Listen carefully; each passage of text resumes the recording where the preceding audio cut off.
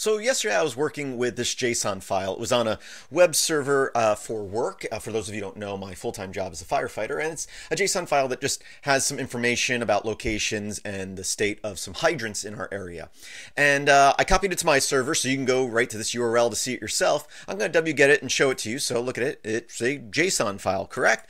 So I do that, and now if I wanted to parse through it, normally I would pipe that into JQ right? So I do that and it didn't quite work. Why not? Well, notice that it starts and ends with a quotation mark and all the other quotation marks are backslash because it's not a JSON object. In this case, it's a string. Uh, I don't know. I've come across before some websites do this. Instead of just passing JSON, it passes JSON as a string, and then you have to convert it, which is easy to do in a web browser.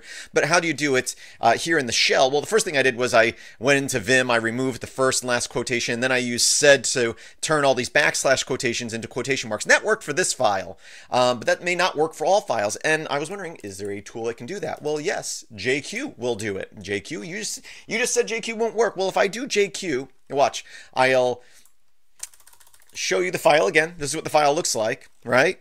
And then I'm going to run it again. I'm going to pipe it into jq-r dot. And when I do that, notice it looks different.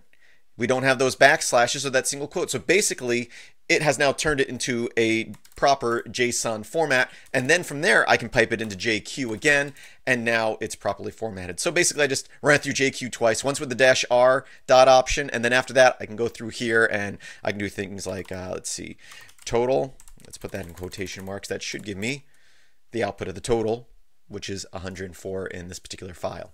So yeah, I thought you might find that useful because I've come across a few websites who do that. So if you come across a JSON file that is actually in a string format, you can quickly convert it using JQ and then piping in JQ again. Now, I don't know if you can do that just putting in a JQ once without piping it twice, but simple enough this way. Thanks for watching filmsbykris.com. That's Kris with the K. There's a link in the description. And as always, I hope that you have a great day.